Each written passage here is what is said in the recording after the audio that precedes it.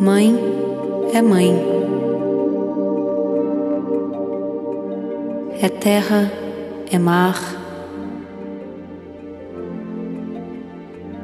É vida infinita. É amor incondicional.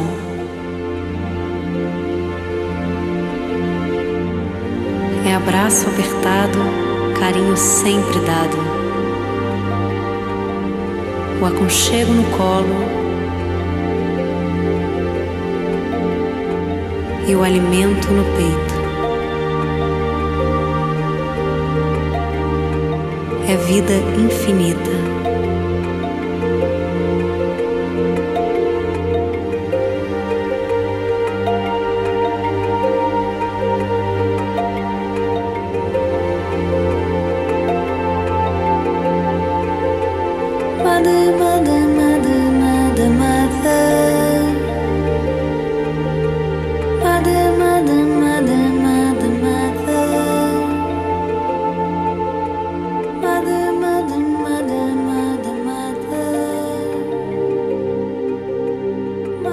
mother